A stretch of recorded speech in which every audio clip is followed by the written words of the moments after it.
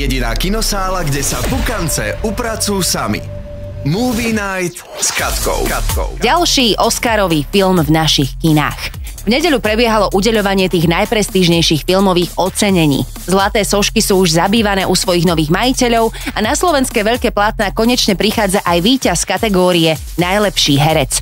Tam si sošku odniesol Brandon Fraser za svoj výkon vo filme Veľryba. Mnohí hovoria, že Brandon v tomto snímku podal svoj životný výkon a on sám sa nechal počuť, že mu tvorcovia týmto filmom hodili záchranné lano kariéry.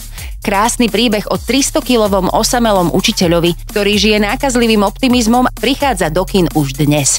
Tak si to určite bežte pozrieť. People are amazing.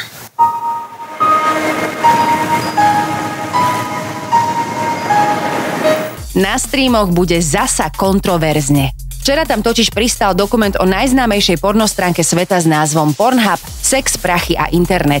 Veľkou súčasťou filmu by mali byť rozhovory s bývalými zamestnancami, aktivistami či účinkujúcimi v týchto mládeži neprístupných filmoch. Tvorcovia tvrdia, že sa nevyhýbajú ani škandálom a obvineniam, ktoré v priebehu rokov týmto portálom otriasli, avšak už po prvých zhliadnutiach sa kritika delí na dva tábory. Tých, čo tvrdia, že ide naozaj o nestranný dokument, ktorý sa nebojacne ponára do hlbokých vôd a tých, ktorí si zasa myslia, že tvorcovia aj tak našľapovali trocha zľahka, aby si príliš nezašpinili ruky. Nuž, názor si asi musí urobiť každý sám. Some people don't like that these things are not in the shadows. Stretnú sa Spider-Man, Jon Snow a Ross s priateľov. Nie, to nie je začiatok žiadneho vtipu, ale iba zlomok hviezdneho obsadenia novej katastrofickej série s názvom Extrapolations, ktorá hovorí o živote v blízkej budúcnosti poznačenej dopadom klimatickej krízy. A teda k tým menám ešte. Meryl Streep, Marion Cotillard, Edward Norton, Toby Maguire, Kit Harrington či David Schwimmer.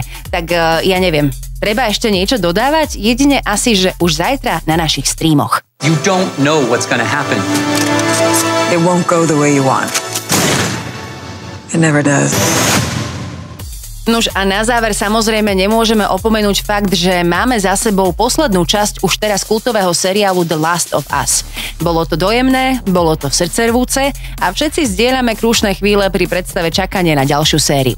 Ale ak majú vrabce na strechách Hollywoodu aspoň trošku dobrú matematiku, vychádza to tak, že by sme sa jej snáď mohli dočkať už v polovici budúceho roka. A dovtedy vám samozrejme my v Movie Night budeme vyplňať čas ďalšími tipmi na filmy a seriály, ktoré sa oplatí vidieť. Jediná kinosála, kde sa pukance upracujú sami. To najnovšie zo sveta filmov a seriálov exkluzívne od našej Katky. Iba v dobrej show, iba v dobrom rádiu. Pre viac si omáčky a informácií klikaj aj na dobré rádio.sk.